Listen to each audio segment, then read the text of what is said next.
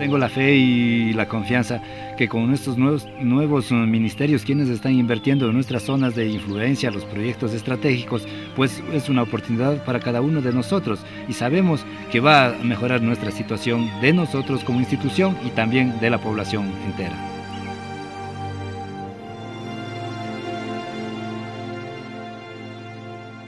San Gerardo fue una de esas poblaciones que no existían para autoridades y gobiernos anteriores.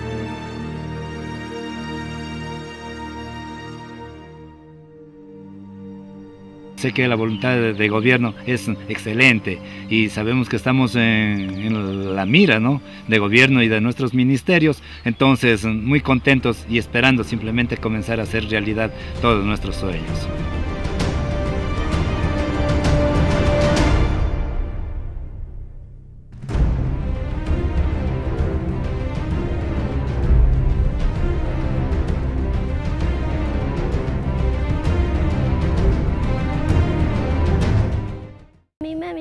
A dejar.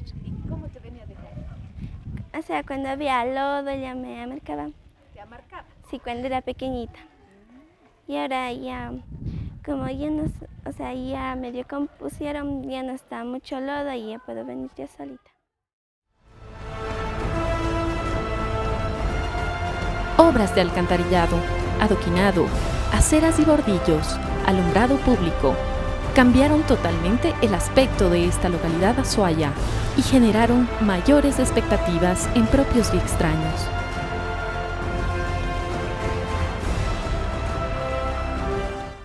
Me va bien porque, porque gracias a los trabajos que, ha habido aquí, entonces póngase la, la, empresa de aquí les da trabajo a la, a la gente, entonces ahí tienen ellos para, para educar a los hijos, comprar la comida, todo eso.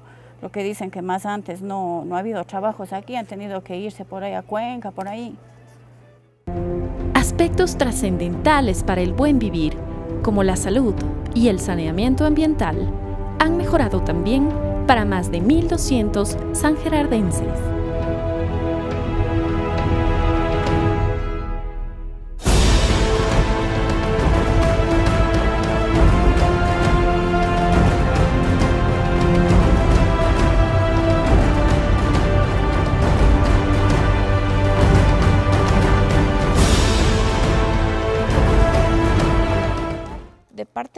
Hay muchas expectativas, obviamente es un centro de salud eh, más amplio en el cual nosotros vamos a poder atender con, una mayor comodidad y más que todo los usuarios van a recibir la atención que ellos se merecen. Eh, eh, tenemos muchas limitaciones aquí en el centro de salud, entonces esta nueva construcción nos va a ayudar mucho en ese sentido. Antes era pues, todo hecho, o sea, bache, sin botar lastre, nada, pero ahora vemos que está mejor. A veces no había mucha agua, se secaba, o sea, no había otros tanques, no, ahora está mejor, no ve que el agua, Dino más antes no sabía tener agua, puesto cloro, nada, saben tomar de los pozos. ahora estamos contentos que hay una cocina, vea el agua. Buen vivir y desarrollo integral, que además es construido con sus propias manos. El beneficio que tenemos aquí, gracias al gobierno y Ecuador Estratégico, es de las calles, las, el centro de salud, el adoquinado y todo eso. El trabajo que nos dan a todos aquí, que todo el mundo trabajamos aquí, gracias a Dios no tenemos que salir fuera ni emigrar a otro país.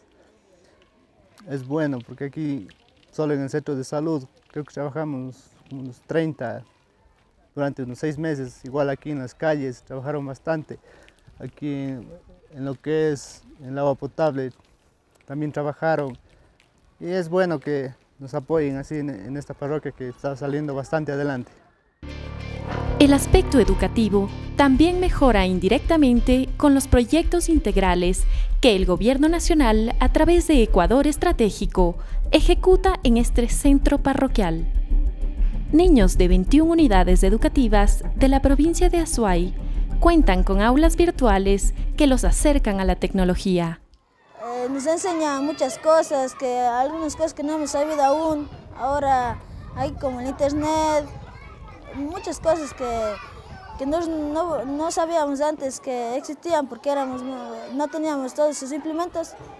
Bueno, lo más relevante de la parroquia sería eh, las calles del centro están adoquinadas. Tenemos un centro de salud y también un sistema de agua potable que llega a más personas de las que llegaba antes. Es una, una felicidad, yo creo que es una bendición tener todas estas obras aquí en San Gerardo. Sí, con las personas que he hablado, con la familia, con los vecinos y todo, se muestran bien contentos y agradecidos por, por las obras que se están dando en San Gerardo. 2.8 millones de dólares invertidos por el gobierno de la Revolución Ciudadana en la parroquia San Gerardo evidencian lo que lograremos con el manejo soberano de nuestros recursos naturales. Estos son los frutos del proyecto minero Loma Larga en la provincia de La Suay.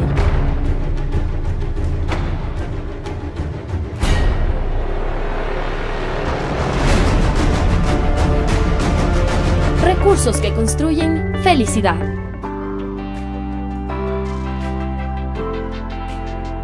Avanzamos, patria.